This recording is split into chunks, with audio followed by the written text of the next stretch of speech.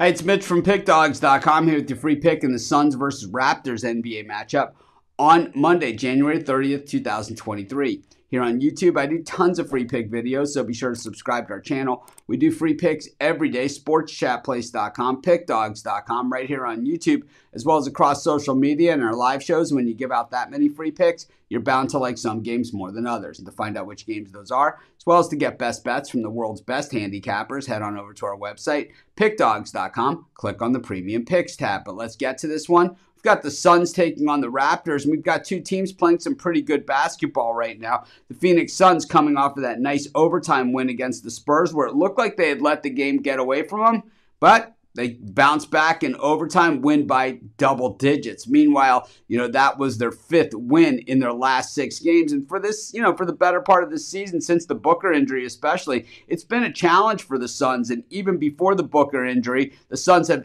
have struggled. Meanwhile, the Raptors, not generally a very good road team, but they're in game four of this road trip. They've won two of the other three games that they've played on the road.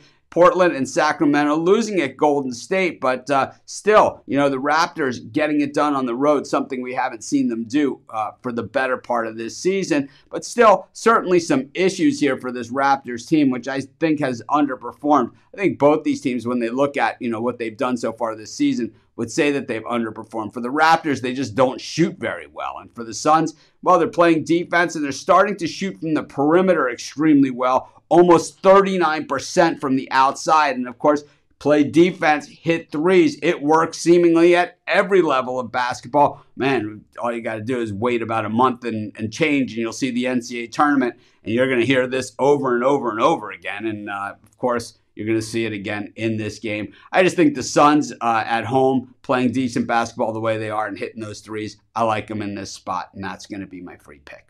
Of course, while you're doing your picks today, putting your bets in, be sure to use our free betting tools at sportschatplace.com. Our betting tools are 100% free in the way they work. They show you just how often the bets on the board today actually hit. Then they show you today's odds, and from there, you can assess the risk reward, putting yourself on the bets that come in the most and pay the most. That's how you make money betting on sports.